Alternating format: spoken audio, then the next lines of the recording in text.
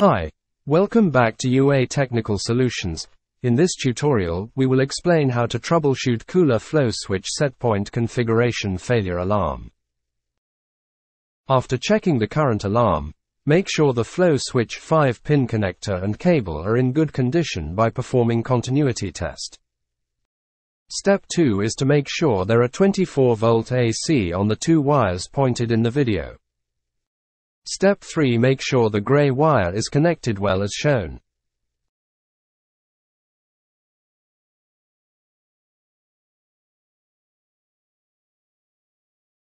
Step 4 is to check the flow switch relay wires white and black are having 24 volt AC each.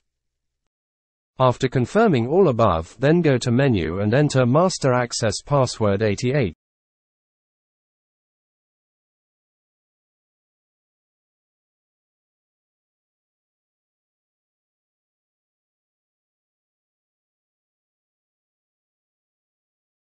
Then go to configuration and enter the service menu.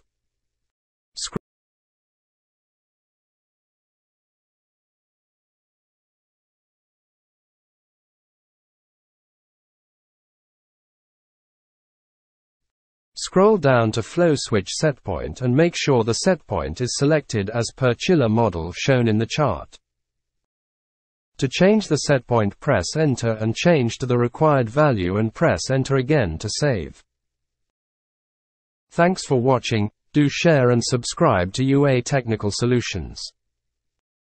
Let us know in the comment section the topics of your choice to make this channel more relevant to you.